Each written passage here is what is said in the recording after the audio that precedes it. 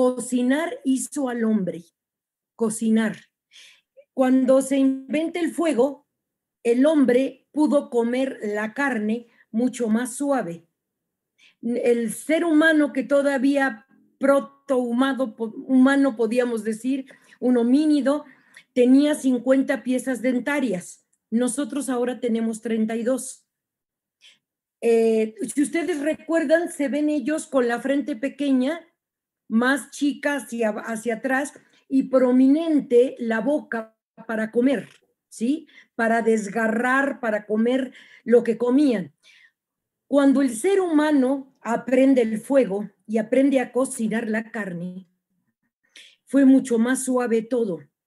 Y esto fue algo mágico en este sentido. Miren, se reduce la, protuberancia, todo esto dentaria regresa de 50 a 32 y la frente que es la pequeña y así se amplía el lóbulo frontal.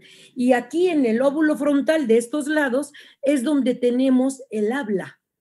Exacto. Entonces, e, el habla es aquí.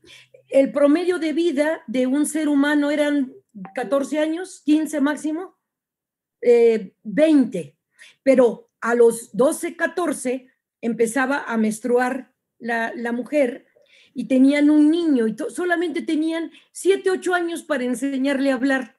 Costaba enorme la cuestión del habla.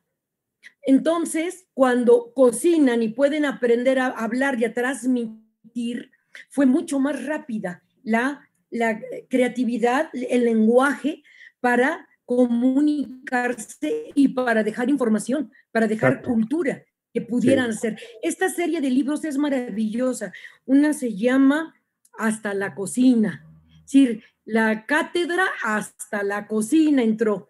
Y es que en España hicieron estos libros muy en serio para que vale la pena que académicamente se estudie la, la comida del hombre lo interesante de esto, de cuando descubren y las mujeres, por supuesto, con la recolección, con la observación, cuando por primera vez pueden, para hacerse sedentarios, tuvieron que plantar, plantar este, em, no, trigo, para pintar, trigo, la recolección de frutas, pues fueron las mujeres las que lo hicieron.